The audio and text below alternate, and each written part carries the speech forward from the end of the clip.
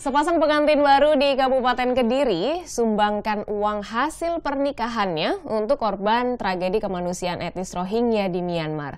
Sumbangan tersebut disalurkan ke sebuah lembaga kemanusiaan. Setelah menggelar resepsi pernikahannya, pasangan pengantin baru Mikdat Robani dan Fudla Zaira kini mulai menghitung uang hasil pernikahan. Uang ini bukan untuk ditabung atau disimpan, tapi disumbangkan pada korban tragedi kemanusiaan etnis Rohingya Myanmar. Aksi pasangan pengantin asal desa Trete Kecamatan Pare Kabupaten Kediri ini semata-mata untuk berbagi kebahagiaan terhadap warga muslim etnis Rohingya yang menjadi korban kekerasan.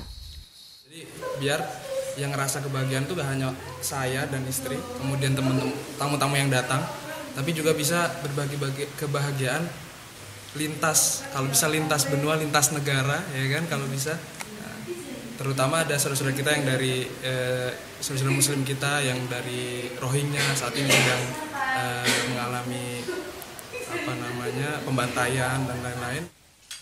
Pasangan Migdat Robani dan Fudla Zahira serahkan uang hasil pernikahannya pada sebuah lembaga kemanusiaan.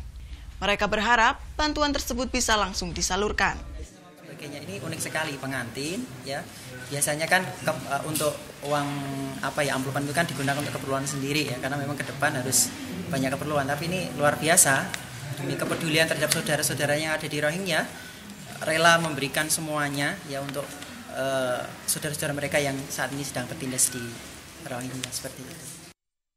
Pasangan Migdat Robani dan Fudla Zaira menikah pada 10 September lalu. Jauh-jauh hari, kedua pasangan pengantin ini sudah berjanji akan sumbangkan seluruh uang hasil pernikahan untuk orang yang membutuhkan. Eko Nugroho melaporkan untuk NET.